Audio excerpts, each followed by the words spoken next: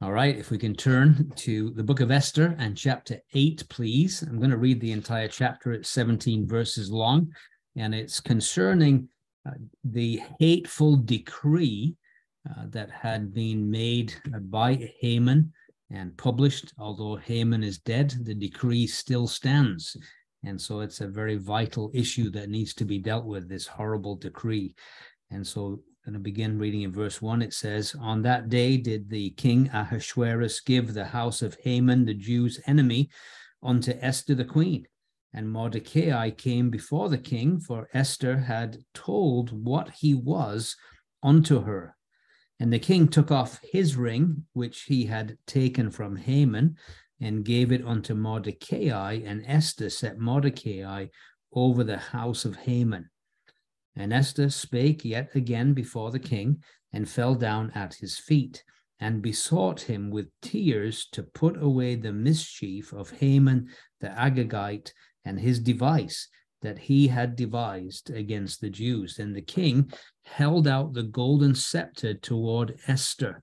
So Esther arose and stood before the king and said, If it please the king, and if I have found favor in his sight, and the thing seem right before the king, and I be pleasing in his eyes, let it be written to reverse the letters devised by Haman, the son of Hammedatha the Agagite, which he wrote to destroy the Jews, which were in all the king's provinces.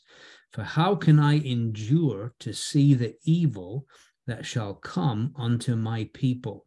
Or how can I endure to see the destruction of my kindred?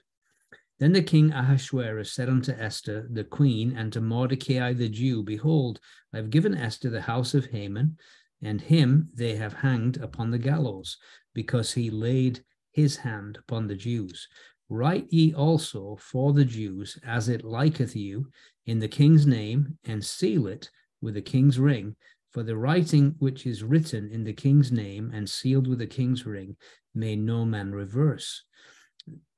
Then were the king's scribes called at that time in the third month, that is the month Sivan, on the three and twentieth day thereof, and it was written according to all that Mordecai commanded unto the Jews and to the lieutenants and the deputies and rulers of the provinces which are from India unto Ethiopia, a hundred twenty and seven provinces, unto every province according to the writing thereof, and unto every people after their language, to the Jews according to their writing and according to their language.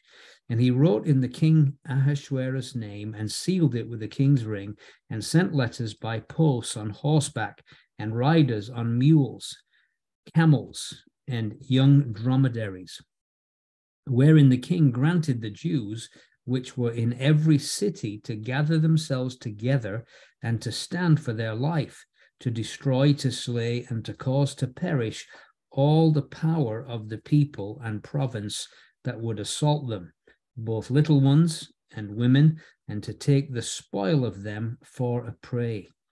Upon one day, in all the provinces of King Ahasuerus, namely upon the thirteenth day of the twelfth month, which is the month Adar. The copy of the writing for a commandment to be given in every province was published unto all people, and that the Jews should be ready against that day to avenge themselves on their enemies. So the posts that rode upon mules and camels went out, being hastened and pressed on by the king's commandment and the decree was given at Shushan the palace. And Mordecai went out from the presence of the king in royal apparel of blue and white, and with a great crown of gold, and with a garment of fine linen and purple. And the city of Shushan rejoiced and was glad. The Jews had light and gladness and joy and honor. And in every province and in every city, whithersoever the king's commandment and his decree came, the Jews had joy and gladness, a feast and a good day. And many of the people of the land became Jews, for the fear of the Jews fell upon them. And again, God indeed will bless that reading from his precious word to us. Now, just to break down this chapter, chapter 8, uh, we're going to see in verses 1 and 2 Mordecai's promotion, uh, how he has been promoted to be the prime minister, basically, of the land. And then we're going to see Esther's petition, particularly uh, of interest to us in verses 3 through 8. And then the king's proclamation, uh, which will be sent throughout the empire in verses 9 through 14. And then finally, the Jews' pleasure in verse 15 through 17 at receiving this good news decree as opposed to the one that had hung over their heads before. And so we said, although that wicked Haman is dead, yet the hateful decree issued when he was prime minister still stood and was in effect. And so this chapter deals with that very important issue.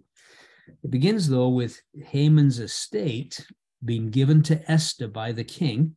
And then, of course, uh, Esther giving it to somebody who would be a very faithful steward of it uh, for her, uh, none other than Mordecai. So we're going to see his promotion. Persian law uh, gave the state the power to confiscate the property of those who had been condemned as criminals. And if you remember last time, land is recently boasted back in chapter 5, verse 11. Uh, we'll just read that. It says, And Haman told them of the glory of his riches. All of the glory of his riches now passed on to the state. It became what we say the property of the crown. And it was the king's prerogative to do with this confiscated property whatever he willed. And perhaps a, an act of generosity on his part, uh, but also perhaps even atoning for his foolish decisions that he had made and the tremendous distress that it had brought upon his beautiful wife Esther. Uh, he gives this entire estate to her to do with as she chooses. No doubt his conscience being somewhat appeased in the process. And so it says again in verse 1 on that day did King Ahasuerus give the house of Haman, Haman, the, the Jews' enemy, unto Esther the queen. and so uh, it's passed on uh, to Esther. And notice it's the second time, by the way, in the book that we have this term Haman, the Jews' enemy. The first time uh, in chapter 3, verse 13, was uh, after the the very uh, well, not not just the first time. It's yeah, first time in 310. Uh, we had wicked Haman before that, but the first time he's called the Jews' enemy is in chapter 3, verse 10, where it says, The king took his ring from his hand and gave it unto Haman, the son of Hammedatha, the Agagite, the Jews' enemy. And what contrasting circumstances that phrase, the Jews' enemy, is used. Initially, uh, he had tremendous power. Uh, he had the means to, to make the Jews suffer, uh, was keen to do it. And now, of course, everything's been reversed and he has lost his life. And uh, he's just referred to as a historical footnote now as Haman, the Jews' enemy. All his lands passed on to Esther. And at that moment, it seems that it was appropriate for Esther to disclose her full relationship with Mordecai. And so again, it says in verse 1 And Mordecai came before the king, for Esther had told what he was unto her. And we've said that actually he was her cousin, obviously significantly older, but if we remember back in chapter 2 and verse 7, um, Esther 2, verse 7, it says, He brought up Hadassah, that is Esther, his uncle's daughter. Okay, so again, his father and her father were brothers, which makes them cousins. His uncle's daughter. Now, again, in a family, it could be uh, that uh, his father was much older uh, than Esther's father, so she could be much younger. Uh, but nevertheless, that's how the relationship. So uh, their fathers being brothers. He had adopted her as an orphan into his care, raised her as her foster father and guardian. And uh, so it tells us now that Mordecai came before the king. Uh, not only is he introduced to the court, uh, but he was now uh, one of those who was privileged to see the face of the king. If you remember back in chapter 1 and verse 14, uh, we saw a list of those that were given that privilege to see the, see the face of the king. And it says, uh, the next unto him was, and gives a list of individuals which saw the king's face and which sat, sat the first in the kingdom. And now uh, Mordecai came before the king. He is one of them that is now given this uh, special position uh, to be one of the king's uh, close advisors uh, be, being brought before the king. And yet it's going to get better than, than that. Not only is he one of those close advisors, he's actually going to take the place of Haman because it says the king took off his ring, verse 2, which he had taken from Haman and gave it unto Mordecai, and Esther set Mordecai over the house of Haman. And so, among the high officials, not only was he one of those privileged to see the face of the king, he was now specially privileged. For the king had given him his ring, which was with this ring, that's how documents were sealed that had that official stamp, as it were, of the authority of the king. And he now has that uh, in his power. And so by this act, Mordecai was advanced to the post of first minister of the king. And if you look at back in Genesis chapter 41, uh, it reminds us of the position that Joseph once was also given. And so we're going to we're to just think about this. This is uh, in terms of Gentile uh, empires. Uh, this is at the peak of Jewish power. Verse 42 it says of Genesis 41, it says, Pharaoh took off his ring from his hand and put it upon Joseph's hand and arrayed him in vestures of fine linen, put a gold chain about his neck. He made him to ride in the second chariot, so on and so forth. What's different in this occasion is that you have a Jewish queen and a Jewish prime minister in the Persian Empire. Uh, so again, you think of that incredible influence now that the Jews have uh, in that condition that they're in. So Mordecai becomes prime minister of the empire. Remarkable to think about this. One moment uh, the Jews are faced with extinction, now they have uh, not only the queen, but the prime minister are Jewish. So the royal ring had been taken back from Haman, this insignia of authority of the throne, and uh, we can certainly see that uh, throughout the book that this ring had great significance. It really was a ring of power. Uh, if you look at chapter 8, for instance, in verse 8, write ye also to, for the Jews as it liketh you in the king's name, and seal it with the king's ring. For the writing which is written in the king's name and sealed with the king's ring may no man reverse. Again, verse 10 uh, he wrote in the king Ahasuerus' name and sealed it with the king's ring. So you can just see how much power is connected with this ring back in chapter 3 and verse 12. Again, you saw it. It says, Now, when every maid's turn had come to go into uh, King, ah, that's chapter 2. That's why it's not looking so good. Chapter 3, verse 12.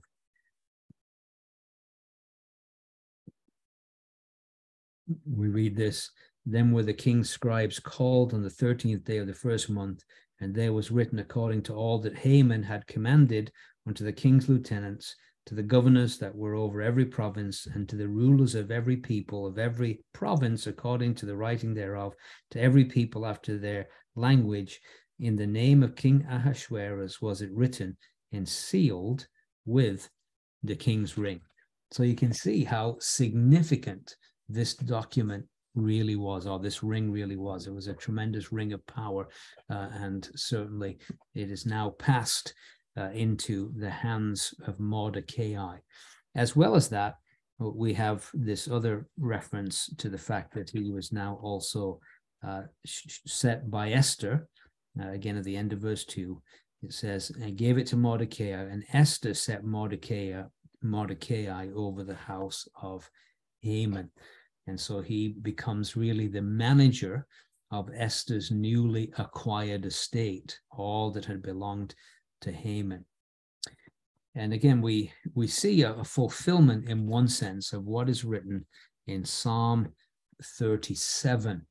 And it's, it's a delightful kind of summary of the events that we've been witnessing as we've looked at Esther together.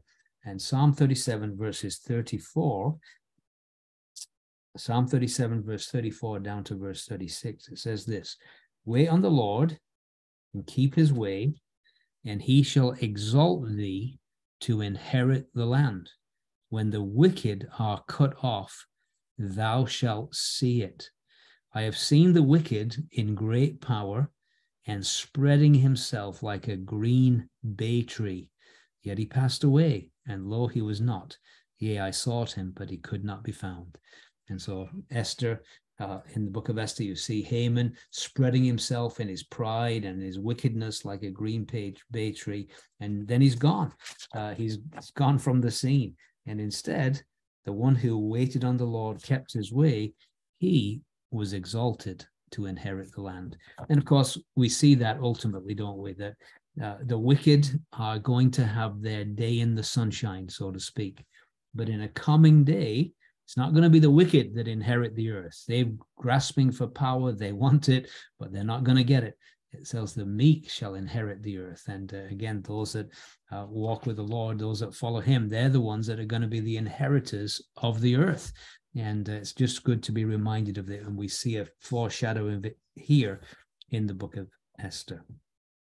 So Esther had inherited a large estate indeed, and she, she did need a steward to oversee and manage it for her because this phrase, uh, Haman's household or the house of Haman, uh, would be much more than just the actual physical property. It would also mean the, the, not only the building and its furnishings, but it would also be the entire household, uh, all the servants, slaves, all the uh, the household that were, you know, this is, you know, kind of the prime minister's uh, uh household uh, with everybody in, involved, a large train of attendants and servants of various kind, and they would now all come under the authority of Mordecai and so he is being uh, promoted to that position. So we've seen Mordecai's promotion. He's the prime minister. He is also the manager of Haman's great estate. And now we come to a very challenging portion uh, for us, we'll see, as well as in the book for Esther in verses 3 through 8, Esther's petition. It says, And Esther spake yet again before the king, and fell down at his feet, and besought him with tears to put away the mischief of Haman the Agagite and his device that he had devised against the Jews. You see, wealth, which she had, prestige, personal security, could never satisfy Esther as long as her people were still in danger. And they are in danger to, to her, the most important thing in life now was not her comfort, but their deliverance. And she couldn't rest until the matter was settled because this hateful decree is still hanging over the heads of her people. And again, she's she's so different to many believers today because uh, there's a horrible as it were, threat hanging over the human race. And many believers are enjoying the wealth of their spiritual inheritance and hardly bear a, a, thought or shed a tear for those who are under such a terrible threat of eternal damnation because they do not respond to the gospel and do not hear the gospel. And I wonder if we could be moved like Esther. She could not rest. She couldn't settle enjoying all that she had when she knew that her people were ready to perish. So we, we see here she's interceding at the throne to save a lost people from slaughter. That was what she was doing. And she's doing it with tears. Over the years, there are many who have prayed for the Jews. And they've interceded on behalf of a wayward people more than once.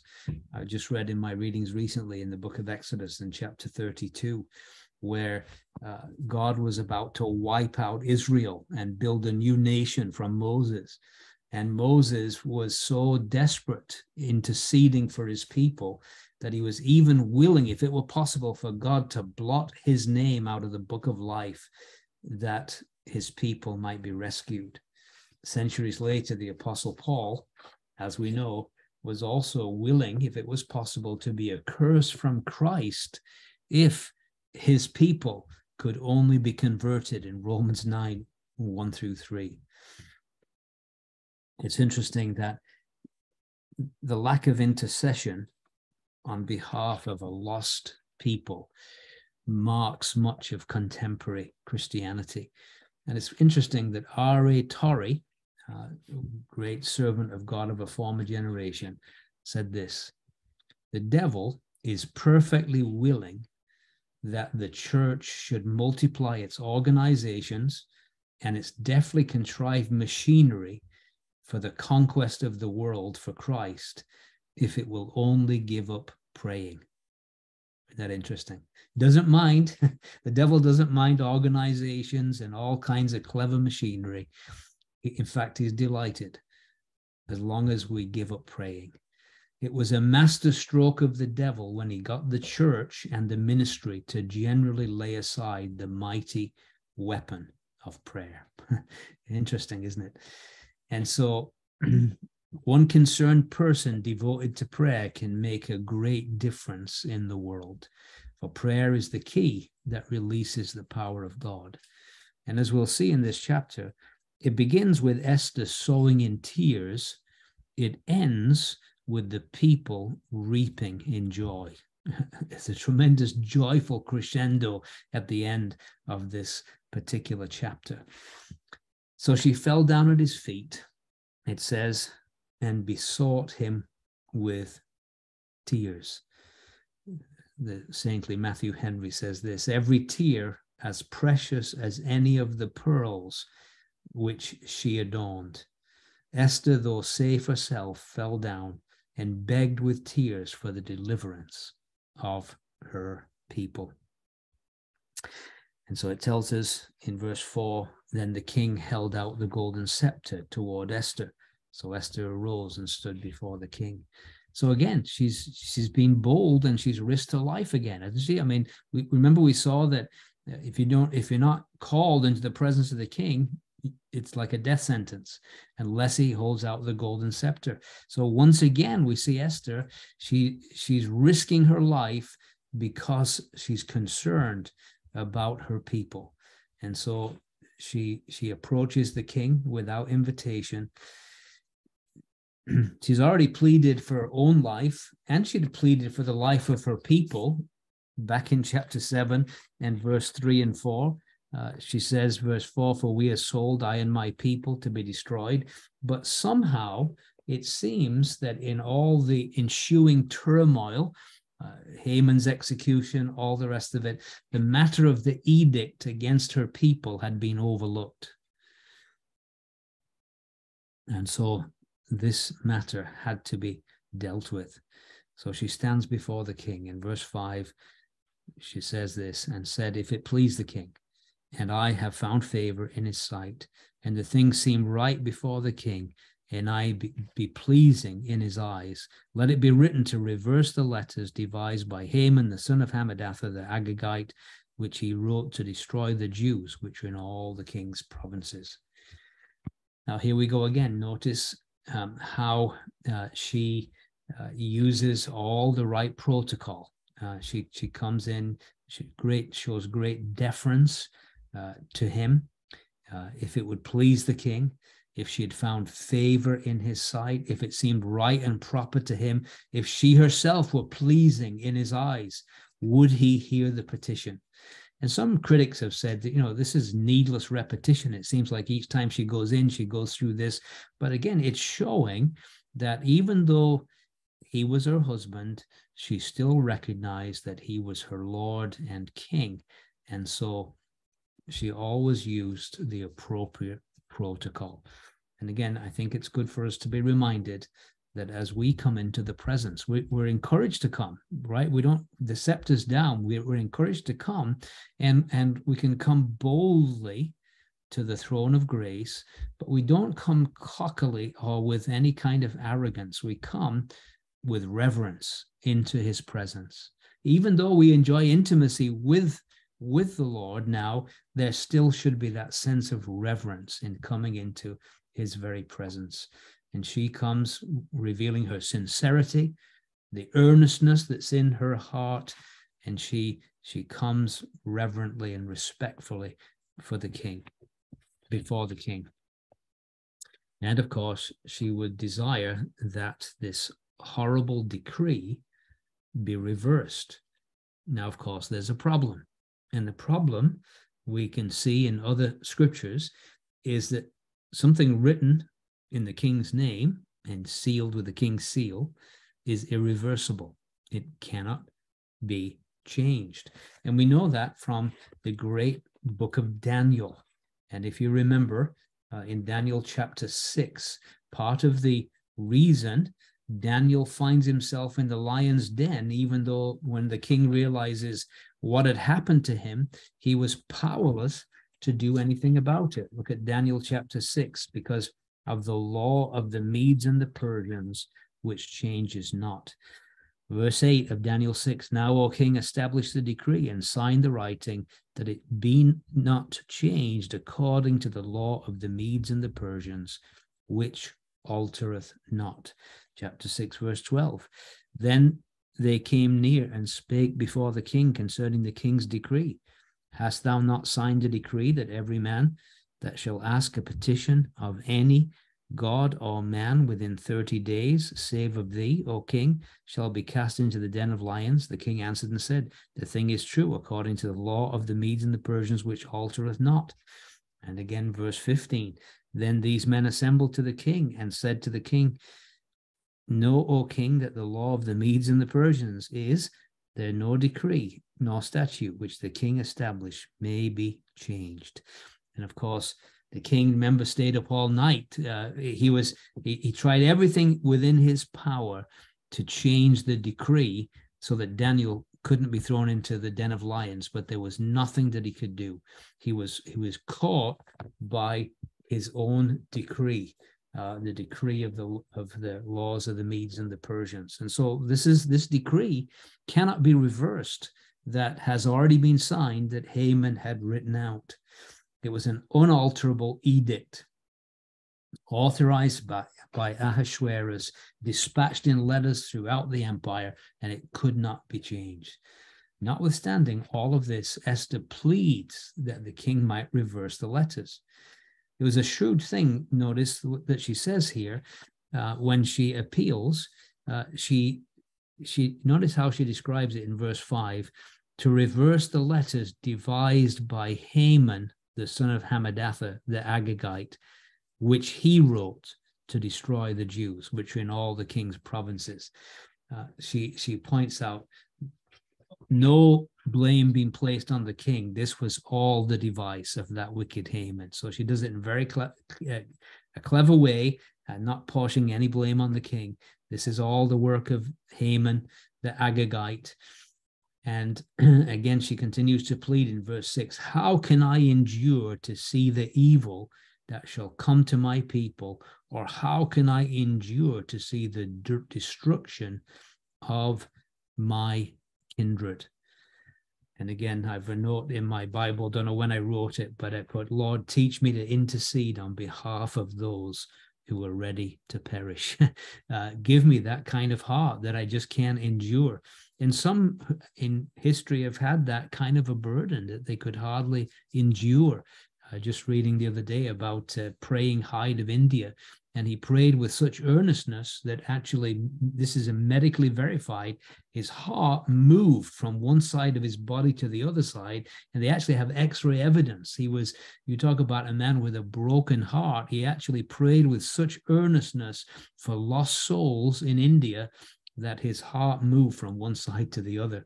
And i, I feel so uh, condemned in a sense because I, I, I feel like i'm just so not like that uh, and I pray, Lord, give me a heart and a burden to intercede on behalf of the people that are destined to destruction.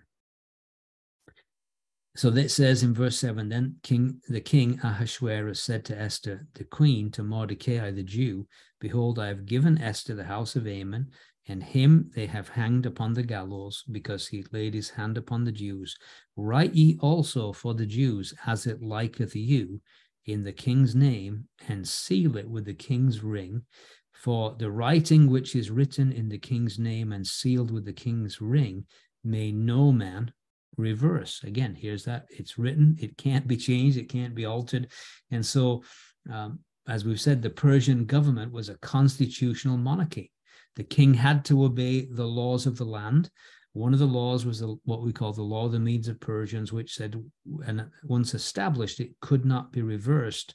So the only hope was if they could write some other decree that would somehow, and again, he, he says, you figure it out, but but you can write another decree and I'll sign it that may somehow help to protect the Jews. We can't reverse the original de- decree. It can't be done. So he, he basically says, You've got my ring. We can't reverse the first decree but you can make another one. And so he puts the ball in Mordecai's court. And so, how does Mordecai handle this? Well, what he does is, although the decree uh, stated that the death decree still stood, he writes another decree giving the Jews the right to band together and defend themselves. Okay, so the, the decree, the initial decree stands, decree stands, but now there's another one that's going to be written that's going to give the Jews the right to defend themselves. And again, we, we think about the how unchangeable decrees. Here's an un, unchangeable decree: the soul that sinneth, it shall die.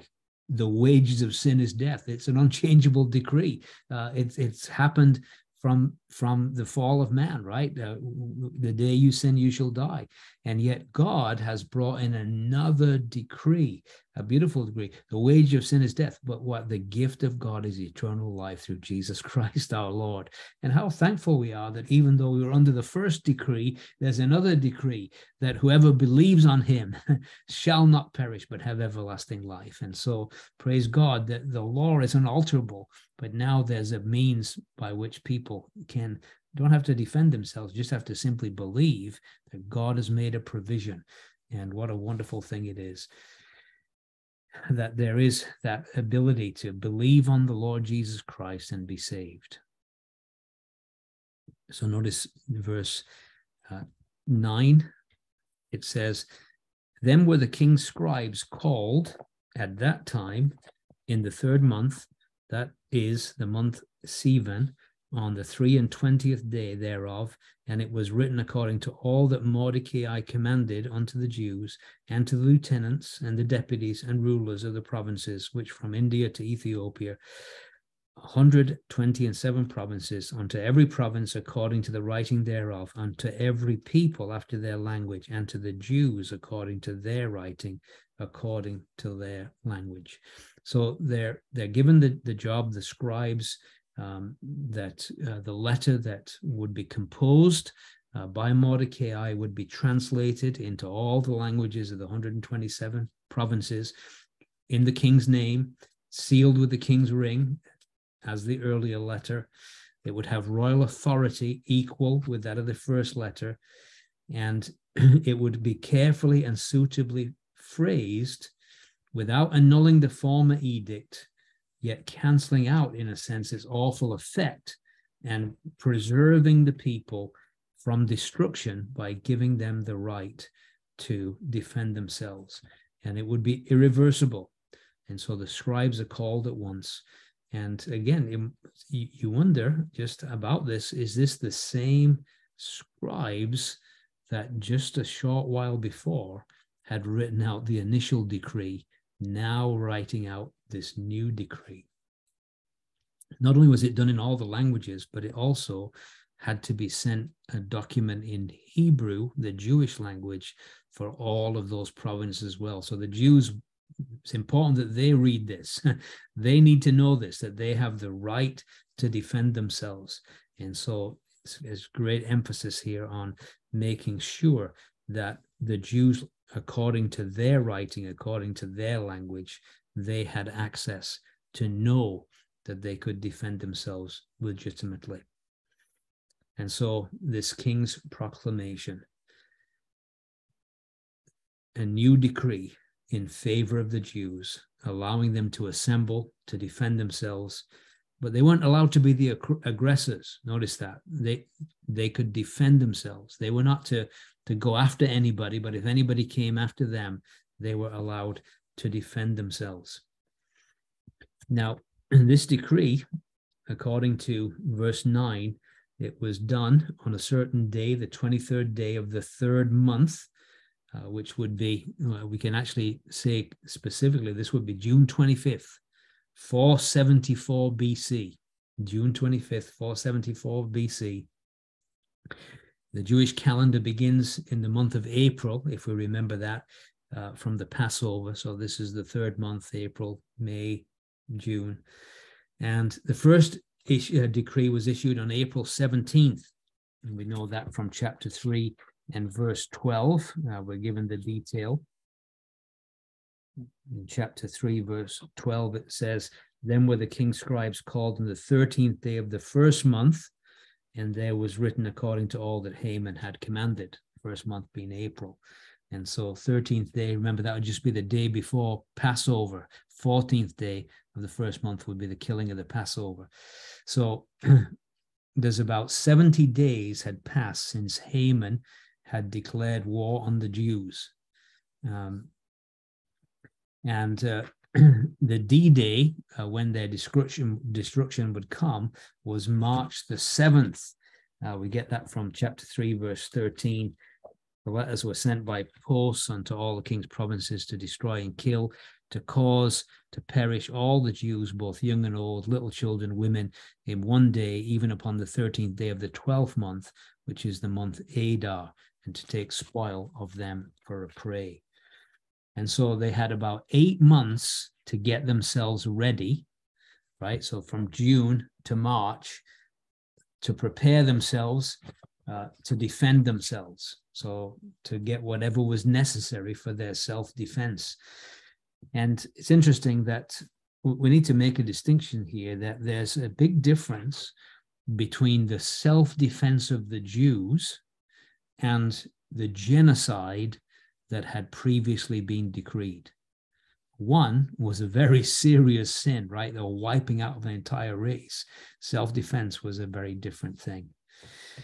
It's amazing uh, J. Vernon McGee, that uh, Texas preacher uh, who, with his notoriously uh, southern accent, said this The Jew has attended the funeral of every one of the nations that tried to exterminate him. And it is amazing how uh, one person was asked if he could give one reason to defend the authenticity of the Bible, what would it be? And he said, the Jew, the, the very existence of this Jewish people, despite so many satanic attempts to wipe them out, are still here to this day and this hour. Verse 10 He wrote in the king Ahasuerus' name, sealed it with the king's ring, sent letters by post on horseback, and riders on mules, camels, and young dromedaries. So Mordecai would dictate the letter, the scribes would write as he commanded. These same men who had transcribed Haman's wicked letter some two months earlier. The letter was urgent. It was important that it be sent with a sense of urgency. And so there, the, the Jews of the kingdom should know not only to prepare themselves, but for their comfort. Can you imagine the comfort that would come to them when they knew that they were able legitimately to defend themselves against their enemies. Prior to that, they didn't have that comfort. And so, for their peace of mind, just to know their circumstances had changed. Uh, the, yes, the, the, the people still have that first decree. They can still attempt to wipe them out and get a spoil. But now they needed to know that even though they're still a condemned, condemned people, that they have the right to defend themselves. And it was a much better situation. So in verse 11, it says, wherein the king granted the Jews, which were in every city, to gather themselves together, to stand for their life, to destroy, to slay, to cause to perish all the power of the people and province that would assault them, both little ones and women, and to take the spoil of them for prey. So they're they're given this permission, no matter who, old or young, that would attack them, even if it was little ones, they could take vengeance upon them and they could defend themselves. And it's by order of the king, this right of organized self defense against those who would assault them. And it's interesting the ironical play upon words, because the very same words that are used in the edict that Haman had written. Uh, you notice this phrase to destroy, to slay, to cause, to perish. uh, that's the very same language that was in the original decree. Esther had used it when she appealed to the king. Uh, here it's used again uh, in this new decree. The same words are used, the same power is given them as were given to their enemies.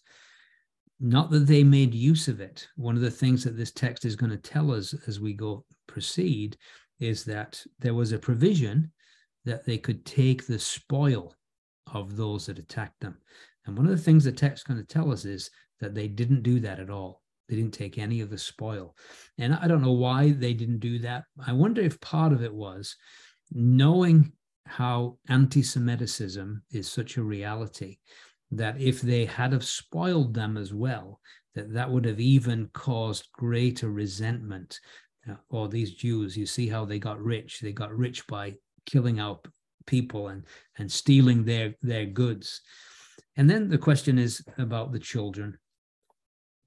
Did they, you notice it does use the, the language of children here, uh, again in verse 11, uh, both little ones and women, and to take the spoil of them for a prey. And all it's saying is that if the attacker who attacked them included little ones and children, they could get vengeance upon them. I would suspect, again, if they're not going to take the spoil, I could hardly see them uh, viciously killing the women and children unless they were specifically attacked by them. And so it tells us in verse 12 upon one day in all the provinces of King Ahasuerus, namely on the 13th day of the 12th month, which is the month Adar, the copy of the writing for a commandment to be given in every province was published unto all people that the Jews should be ready against that day to avenge themselves on their enemies.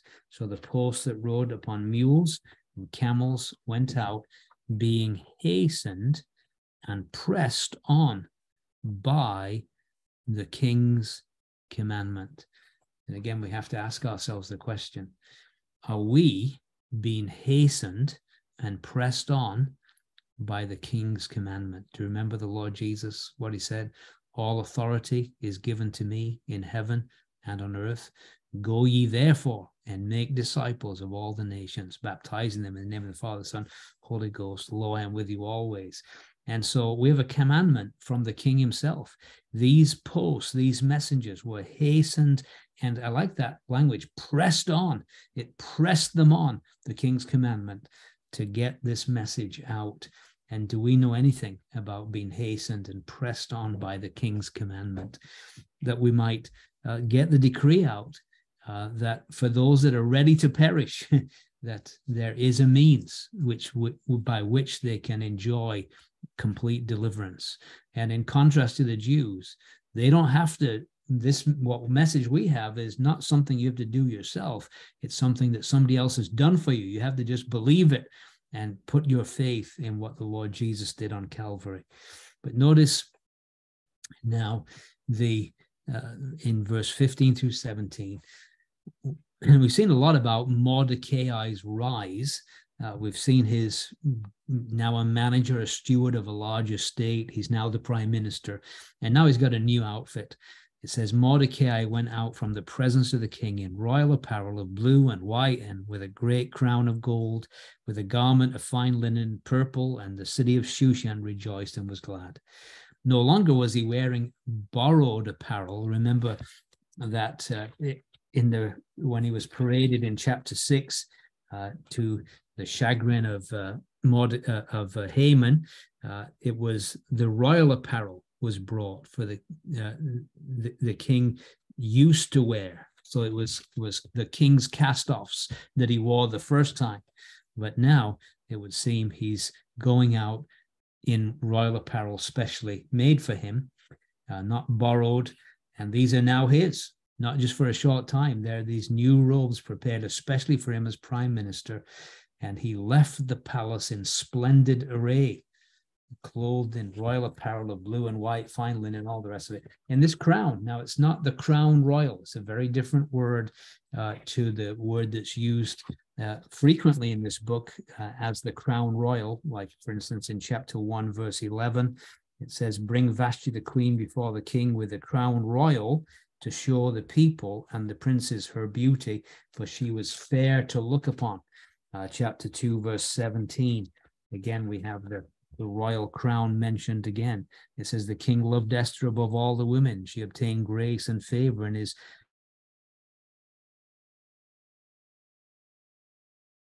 upon her uh, this word is a different word and it simply is the idea of a wreath or coronet. Uh, and again it was certainly a, a, symbol of delegated authority but it, he didn't have the royal crown on his head but he certainly displayed in uh, beautiful royal apparel. And um, off he goes. And not also not only now he's got a new outfit he's got a new position and uh, he has new authority and again i think of the believer in the lord jesus. What about us? We have a new outfit don't we?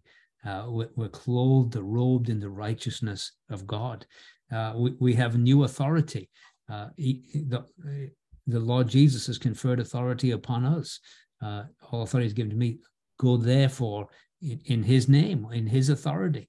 And we certainly have a new position. Uh, we're seated in heavenly places, so we're in a marvelous position as well. Notice it says, the Jews had light and gladness and joy. Uh, the city of Shushan, the end of verse 15, uh, they rejoiced and were glad. Remember when the initial decree had come to the city of Shushan? It says that the whole city was perplexed, but now they're rejoicing and glad. They felt there was something terrible about this original decree, but now there's a different attitude in the city of Shushan. And th- the language is all about rejoicing.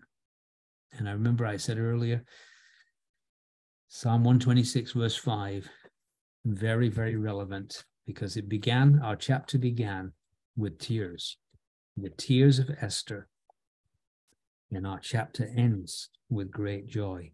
Psalm 26, and verse 5 they that sow in tears shall reap in joy. Sowing in tears, reaping in joy. And that's exactly what we see here. The chapter begins with Esther sowing in tears, and now her people, the Jewish people, are rejoicing. Shushan rejoiced, the Jews had light. In other words, the idea is that they were under a heavy burden right? This decree. And now there's a new lightness. There's a string, a spring in their step. They have gladness. They have joy. They have honor. In every province, in every city, whithersoever the king's commandment and his decree came, the Jews had joy and gladness to feast in a good day. And many of the people of the land became Jews, for the fear of Jews fell upon them. And so what we see is a, a kind of a bit of a revival scene, don't we? Uh, this this is what a revival looks like. the people are now filled with, with incredible joy instead of a heavy burden. And others are seeing what God has done for them, and they are somehow the fear of the Jews is falling upon them. Such was the wonder of these events that many people of the land became Jews as proselytes. They, they'd seen what God had done and they judged it best to align themselves with this favored people. And they were amazed at what God had wrought through the Jews. So I just want to think about Esther, Esther and Mordecai in our final thoughts here, because at the beginning of the story, Esther and Mordecai were hardly exemplary in the way they practiced their uh, religious faith. But now we see that everything's changed. Both of them have nailed their colors to the mast. They've affirmed they're Jews. They're not hiding it anymore. Uh, they, they've got their, as it were, their identity, their heart on their sleeves. There, it's everybody knows Mordecai the Jew and Esther the queen is also Jewish. So both of them have affirmed their identity. And they were also the means God used to call the nation to fasting. And we would say, by implication, along with that prayer, and now, as a result of that, they were really spearheading a revival, or, or we might say an awakening, because as a result of their change, now many of the people of the land became Jews, for the fear of the Jews fell upon them. It was considered no longer a reproach to be Jewish in the empire, but it was actually a badge of honor to be known as a Jew in the empire. And it all comes back to Esther and Mordecai nailing their colors to the mast. And if we as Christians would really nail our colors to the mast, one wonders what difference it would make in our world. Sadly, sometimes it's hard to tell who a Christian is and who a Christian isn't in our world. Uh, we have the profession, but sometimes it's we're hiding it under a bushel. May the Lord encourage us with this incredible chapter that begins with tears and ends with joy. Amen.